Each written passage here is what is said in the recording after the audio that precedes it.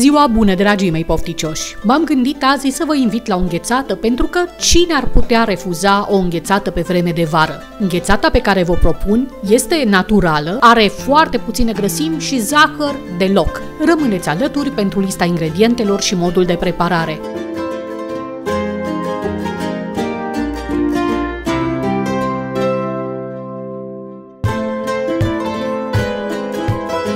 Ca de atâtea alte ori, alături mi-au fost prietenii mei de la Alba Lact, cei care fac produse lactate dintr-un lapte natural colectat doar de la fermierii români. Ingredientul vedetă al rețetei de astăzi este laptele bătut Alba Lact. V-am promis o rețetă simplă și naturală și chiar am de gând să mă țin de cuvânt. Iată, acestea sunt toate ingredientele de care avem nevoie fructe, eu folosesc căpșuni, dar la fel de bine se pot folosi și alte fructe de sezon, poate caise, poate cireșe, zmeură, ce vă place vouă mai mult, cantitatea de care avem nevoie fiind de 500 de grame. Vom avea nevoie apoi de 330 de ml de lapte bătut. Eu folosesc laptele bătut de la Alba Lact, care are doar 2% grăsime, așa că voi obține o înghețată foarte săracă în grăsimi.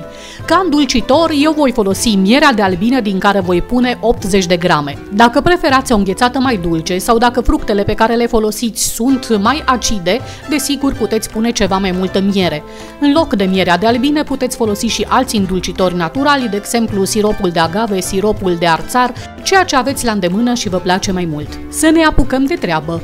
Căpșunile bine spălate se curăță de codițe și se taie în jumătăți sau sferturi după cât sunt de mari. Se aranjează apoi într-un singur strat pe o tavă acoperită cu hârtie de copt. Vom continua până când toate căpșunile sunt pregătite în acest fel și aranjate pe tavă.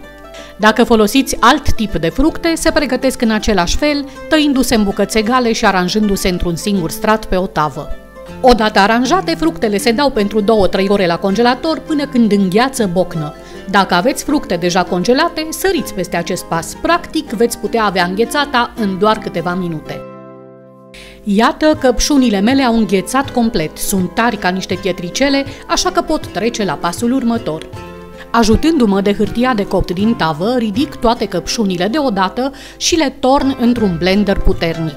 Acum este rândul laptelui bătut pe care îl voi turna pe tot în vasul blenderului peste căpșuni, scutur bine recipientul, apoi adaug și mierea de albine.